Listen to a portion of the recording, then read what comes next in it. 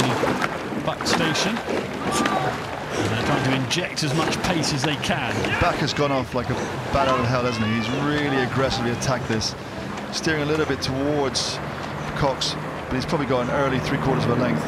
Yeah, the rate for a single there is absolutely bombing on, isn't he? He really has committed hard to this. Not a very subtle approach. No, he wasn't subtle at all, but it's effective, isn't it? He's taken two legs already. That he's a strong fella. Just just done that straight away. And, good, and also Cox on the far side. Two or three weeks' time, he's going to be at the Olympic Games. He is, yes. Just the sixth Zimbabwean rower ever to appear at an Olympic Games. Qualified through the African system a couple of weeks back, and it'll be interesting to see how he gets on.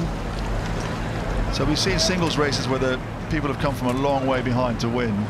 So we're going to wait and see what sort of rhythm now um, Bakker has done, whether he can maintain this and whether Cox really has anything to do. But to be honest, Bakker has really done a good job with this, hasn't he? He has, but how much has it taken out of him to do that? You'd think that would be enough, but it's still a long way to go. That's Stephen Cox from Zimbabwe, based in the UK, a Lance Corporal in the uh, British Army. He's been very grateful to the Army who've made it possible for him to train properly to try and do this.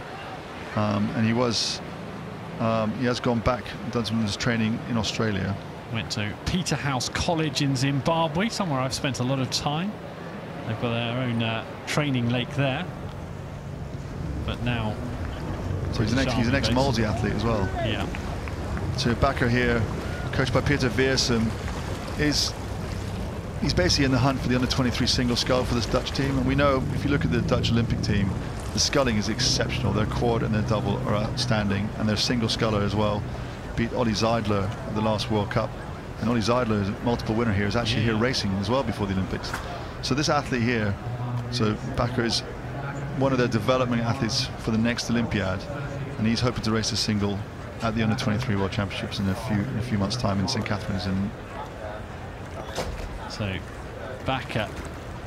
we said it wasn't very subtle, but it's been extremely effective as he moves in front of the regatta and stewards enclosures. But I mean, he's a big guy, isn't he? And actually, he sculls very. He is now. He is subtle on the boat. Well, the boat's now, not bouncing yeah, around he's, exactly. He's done the work now, hasn't he? Yeah, exactly. He did what it needed to be done, and he's handling these conditions very well. And you can see there the way the boat, because the boat's about 14 kilos, and he's probably over 95 and the boat obviously every time he releases the finish the boat does sink into the water because the weight is in the boat instead of on the oars. When they scull well they suspend their weight off the oars and it takes some of the weight off the boat. As soon as they release the boat drops into the water. But he's still really subtle. Yeah he has done a good job there.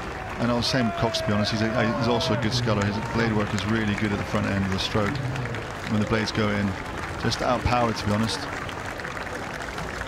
Yes, early in the race, and you just asked the question whether Bakker was going to be able to maintain that all the way through, but he has. He's obviously got more than just explosion off the start. He's got the stamina to and back Co it up. And Cox is coming back at him, but it's only because Bakker's really absorbing it. Really, he's completely within himself.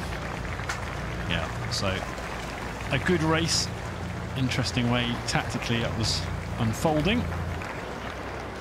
But Bakker from the Netherlands will go through, and the Diamond Challenge sculls and for the Zimbabwean Stephen Cox, that's the end of his Henley Royal regatta this time round.